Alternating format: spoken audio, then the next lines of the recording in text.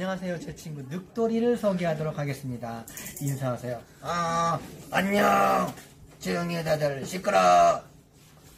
말을 그렇게 함부로 하면 안 돼요. 자, 우리 늑돌이를 소개 한번 해보도록 하겠습니다.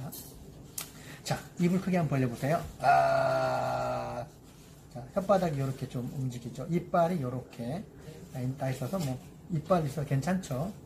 않고 입이 움직임을 한번 보여드릴, 텐데요. 가만히 있으면 이렇게 있습니다. 힘을 주지 않은 상태가 이렇게 입이 벌어져 있는 상, 상태고 오므리면 이렇게 살짝만 이렇게 그러니까 완전히 다 닫혀지질 않아요. 이렇게 이렇게 이 정도로 이렇게 움직일 수 있는데 힘들지 않아요.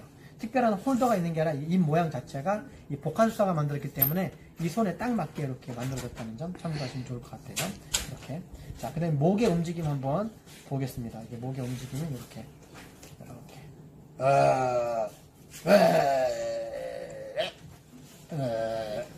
여기 잘 돌아가고요. 귀. 귀도 보면 정교하게 만들어졌죠? 이렇게. 저희 복합술의 특징이 좀 정교하게 잘 만들어진 부분이 있습니다. 이렇게 앉을 수도 있고, 여기다 여러분이 뭐 이렇게 뭐 다셔서 하실 수도 있고, 이렇게. 꼬랑지도 뭐 괜찮습니다. 꼬랑지도. 어, 이 이런 부분이 좀 부담, 이렇게 쉽게 망가지지 않게 또 이렇게 잘 되어져 있습니다. 이런 부분이 그 스폰지로 되어 있어서 정교하게 만들어진 어, 늑대, 늑돌입니다. 자, 늑돌아 인사. 안녕. 날 분양해가. 바이바이. 아이, 너는 기업자가 안 되는데 분양 빠바이 안 되잖아. 그냥 날 데려가. 안녕. 해봐. 어, 알았어. 날 데려가. 안녕. 음.